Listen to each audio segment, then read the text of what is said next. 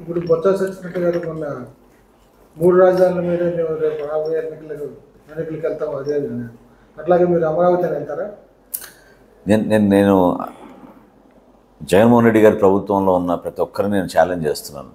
నిజంగానే వాళ్ళ చిత్తశుద్ధి ఉంటే మూడు ప్రాంతాల్లో అభివృద్ధి చేయాలని అనుకుంటే ఈ పాటికి ఒక ప్రణాళిక ఉండాల్సింది.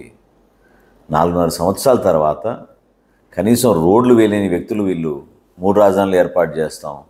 అని హడావుడిగా రెండు మూడు సార్లు చట్టాలు తీసుకొచ్చి కేవలం ప్రకటనలకే పరిమితమయ్యారు కానీ ఆ ప్రాంతంలో వీరు ఏమాత్రం కూడా అభివృద్ధి కార్యక్రమాలు చేసి చూపించలేదు.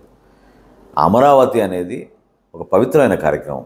ఎందుకంటే బహుశా భారతదేశంలో ఇప్పుడు వరకు ఆ విధంగా రైతులు త్యాగం చేసి మన భవిష్యత్తు కోసం మన రాష్ట్ర భవిష్యత్తు కోసం మన బిడ్డల భవిష్యత్తు కోసం భూములు ఇచ్చి వాళ్ళు ప్రభుత్వం నుంచి ఏమాత్రం కూడా గొప్పగా సహాయం ఆశించకుండా ఒక మంచి కార్యక్రమానికి మనవంతు మనం సహాయం చేద్దామని ముందుకు వచ్చిన వ్యక్తులను కూడా వీళ్ళు అవమానపరిచి ఈరోజు ప్రభుత్వం అక్కడ దౌర్జన్యానికి గురవుతున్నారు ప్రతి ప్రతి ఒక్కరిని ఇబ్బంది పెడుతున్నారు.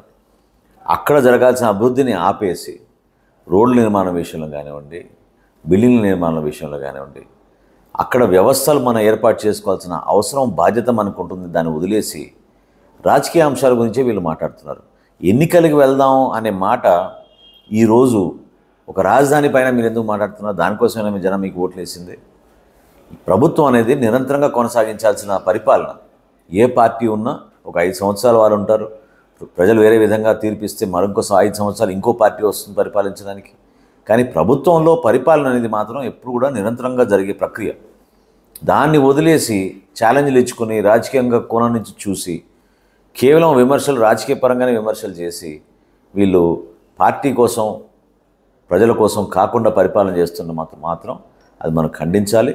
తప్పకుండా ప్రజలు మనకి ఏకైక రాజధాని అమరావతి. అమరావతి ప్రాంతాలను మనం అభివృద్ధి చేసుకోవాలి. ఇక్కడ జరుగుతున్న అభివృద్ధి చూసి ఇతర ప్రాంతాల్లో కూడా ఈ విధంగా పెట్టుబడులు తీసుకొచ్చే విధంగా మనం కష్టపడాలి. ఆకర్షించాలనేది ఒక ఆలోచన పాలకుల్లో ఉండాలి.